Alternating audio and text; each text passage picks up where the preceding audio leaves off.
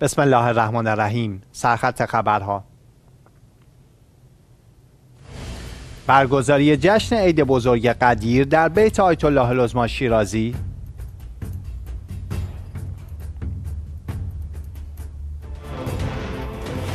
19 ذی‌حجه روز جهانی مظلومیت کربلا.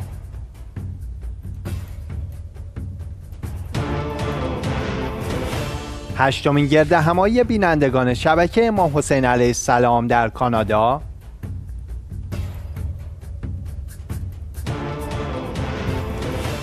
و افتتاح سومین چاه آب آشامیدنی در افغانستان توسط مؤسسه مصباح الحسین علیه السلام.